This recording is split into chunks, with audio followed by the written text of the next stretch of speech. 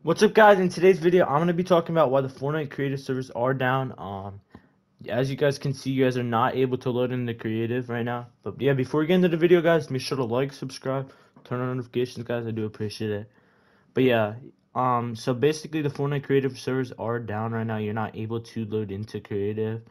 Um, or if you do load in, it would take a, um, a long time to load in, but it's not loading in the creative right now but yeah, guys. Um, if you guys are also having this issue, make sure you guys comment down below, like, subscribe, and turn on the notification bell. And I'll see you guys later. Peace. And yeah, see, as you can see, it's still not loaded into a creative yet. And you can't even get out of this. So what you guys will have to do is to reset your game. But yeah, guys. Hope you guys did enjoy, and I'll see you guys later. Peace.